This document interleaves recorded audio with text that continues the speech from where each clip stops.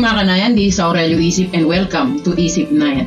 So our topic for today, no, pag-aaralan natin all about the triangle congruence. So ito yung SAS postulate tsaka SSS postulate. postulate. Pag sinabing SAS, no, yan ay sing uh, side, angle side. Kapag SSS naman is side, side, side. So let's start.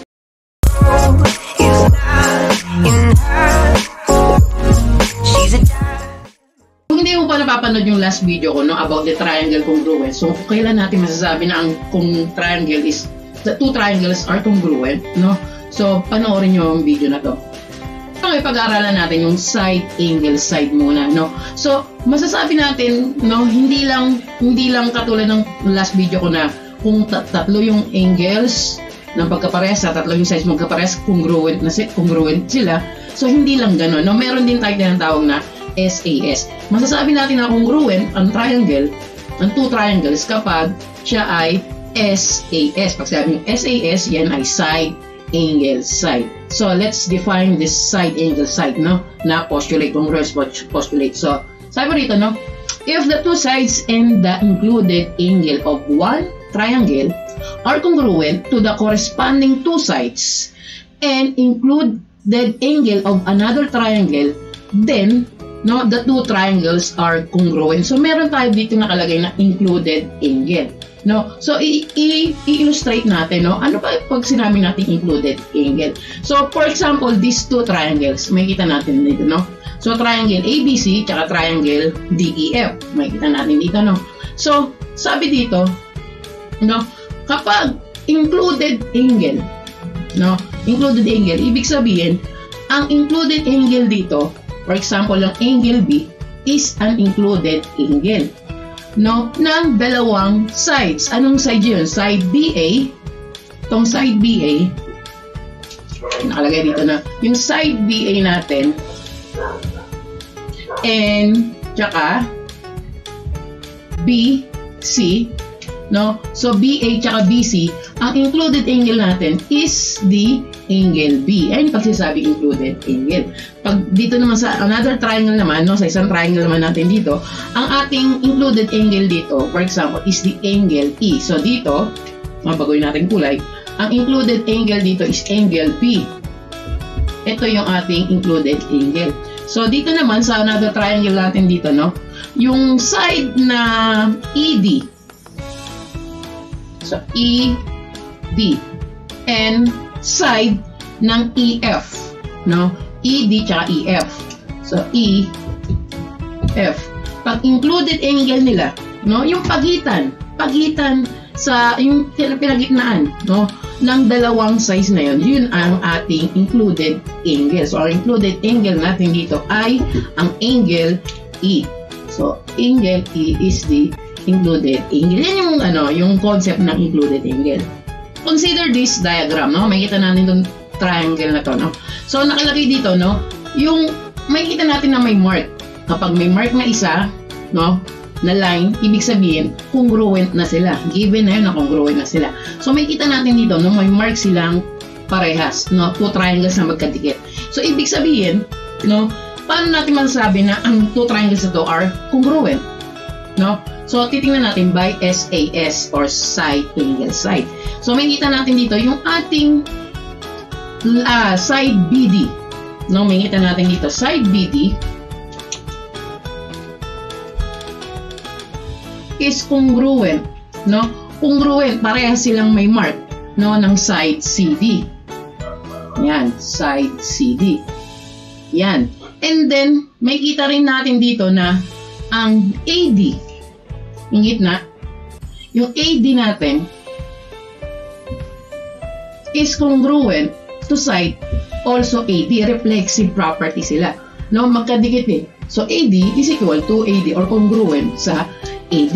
So, may kita natin dito yung ating uh, angle, ang angle BDA. No? Ang angle BDA, ang iba lang ako ng kulay, no? So, ang angle BDA ito yung ating included angle no ng two sides ng BD at CD ang included angle niya is BDA yan ay merong 90 degrees at ang angle din naman na CDA angle CDA, yan din may measure din ng 90 degrees, no? Ito yung included angle ng aid ng ating uh, CD tsaka AD. Diba? CD tsaka AD. Yan yung ating included angle. So, ibig sabihin, no? Side, side, angle, side, side, angle, side. So, ibig sabihin, no, pwede nating i-conclude, no, therefore, the triangle, no, nakalagay natin, therefore, therefore, the triangle ADB is congruent, no, sa triangle ADC by no? By side angle side congruence postulate. So yan yung mapakita natin na ang two triangles are congruent by SAS another example pa no? So these two triangles no kailan natin masasabi na sila ay congruent no so makita natin no by SAS daw sige paano natin mapapatunayan na by SAS so makita natin dito no itong two triangles na to may marka yan. No, may kita natin may mark na 1, no, congruent. Yung EF, congruent yan sa HI. No? So, yung two arcs naman, kung uh, angle F tsaka angle I. So, may kita natin, no? So, may kita natin na ang line EF, ulitin ko lang, no? is congruent to line HI. Diba? Yan yung isang side. Pareha silang merong one line na mark. And then yung ating side F G is also congruent to I J. Meron yung mark na dalawa. No? So, may included angle sila. Ang angle F and congruent yan sa angle I parehas silang no, two arcs. So, ibig sabihin, the same ang kanilang measure. So, ibig sabihin, therefore, no, therefore, the triangle, no, therefore, the triangle, um, anong triangle to? Uh, triangle EFG is congruent to triangle H I J by S A S o side angle side congruence postulate. Naman punta tayo sa SSS. No, hindi to social security system ha.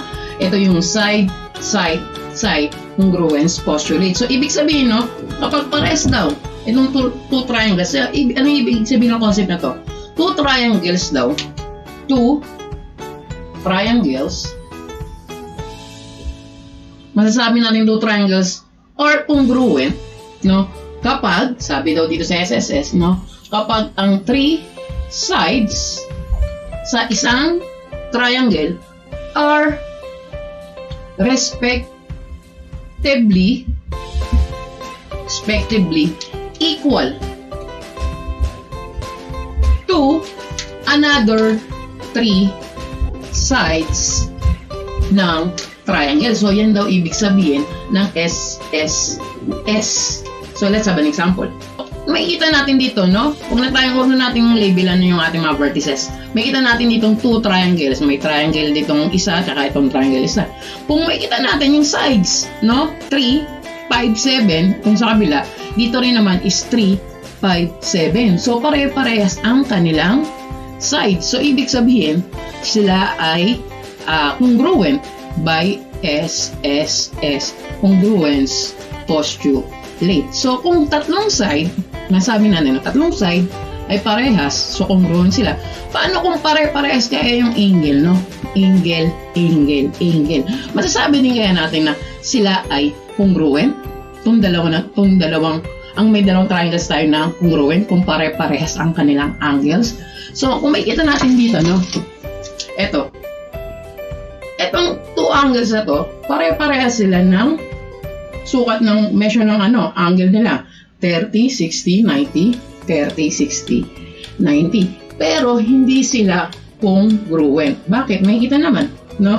Meron, may example na parehas ang kanilang angle pero hindi sila same ang size. Kasi kapag sinabi natin congruent, no, same shape, tsaka same size. So, ito yung example na hindi masasa hindi natin masabi na ang two triangles are congruent kapag sila ay pare-parehas ang angle no, sukat ng angles nila. So, that's all no. Sana may natutunan kayo. So, don't forget to like, share, and subscribe. Pakipindot naman po ang ating notification bell para malaging updated sa mga next ko pang mga video. So, sa susunod kong video, meron pa tayong dalawang congruence postulate na pag-aaralan. So, that's all. Good luck, soldier.